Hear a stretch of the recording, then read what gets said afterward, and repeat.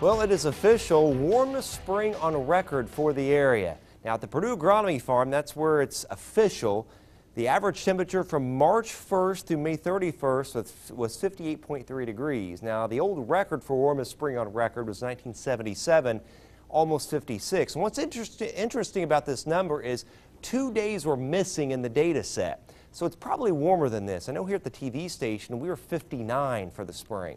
But no matter which way you slice it, we blew away the old record for the warmest spring. And this data is, again, from the agronomy farm. That data set goes back to 1901. And then prior to 01, again, thanks to the Climate Office for this data, you've got data uh, for Purdue back to 1887. So that's a pretty impressive number. We blew away any old record for warmest spring. It's also very dry. It's dry tonight but at least it's pretty cool. It's comfortable. Temperatures already falling into the low 60s. We've got a low spinning on the east coast, keeping the heat at bay. But boy, there's a big storm out west. We've had so much severe weather up here in the Pacific Northwest and the northern Rockies for the past few days. That's a strong storm system, and it is going to dislodge this heat wave to the west, push it eastward, and we've got several days in the 90s. And also, that low off the coast of New England will move away. So, all that said, the heat is headed in. We've got 90s in this forecast. Now my graphics working. Notice tomorrow morning 52 degrees at 6 a.m., noon 73, and 80 at 5.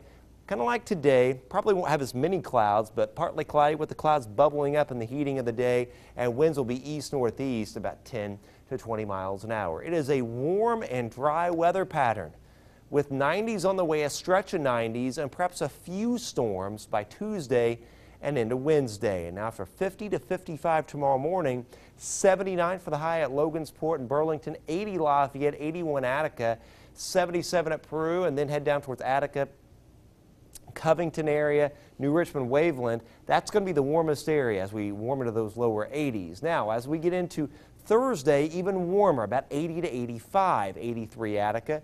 Lafayette towards Covington, Crawfordsville, 81 Burlington, and 79 at Rochester, Morocco at 81. Like we were talking about at 5 and 6, there's not going to be a lot of humidity now through Friday. So even if it's in the 80s with dew points 40s to mid 50s, it will be in that pleasant range. Now Saturday, still comfortable. Sunday into Monday, dew points rising in the low to mid 60s. So that means it's going to start to feel a little uncomfortable. It won't get really sticky around here until Tuesday, Wednesday, and that's when a few storms will start to pop. So 7 day forecast, notice it getting warmer, uh, low to mid 80s as we head into Thursday and Friday. Low humidity, Saturday still going to be comfortable, but uh, kind of a dry heat at 90. 93 Monday, and we really turn up the humidity by Tuesday with a few storms in here, but notice 40% coverage. That does not look like a widespread soaking rain. Not everybody's going to get rain out of that. That's the bad news. Okay. Well, thanks, Chad. Well, sure. bad news for that. Good news for the rest of the week, though, and some great news for a uh, Purdue player